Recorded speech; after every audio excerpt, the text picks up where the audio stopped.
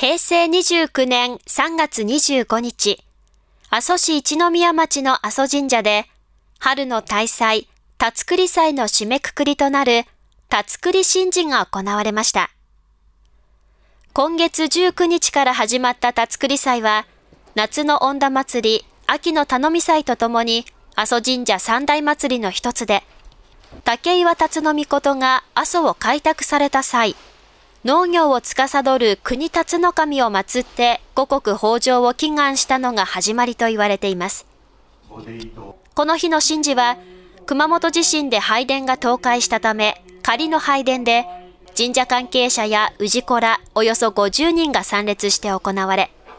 豊作を祈願する祝詞が挙げられ、また神職らによって辰栗の過程が演じられました。まずはじめに青木の葉っぱに高地の広さを意味する仙長、満潮と書き、その後、水田の水はけを良くするための溝さらえや、みこしにもみ種をかける種まきなど、農作業の一連の作業をしました。辰栗祭は、恩田祭り、頼み祭とともに、阿蘇の農耕祭事として国の重要無形民族文化財に指定されていて、この祭りを終えると、阿蘇では本格的な農耕が始まります。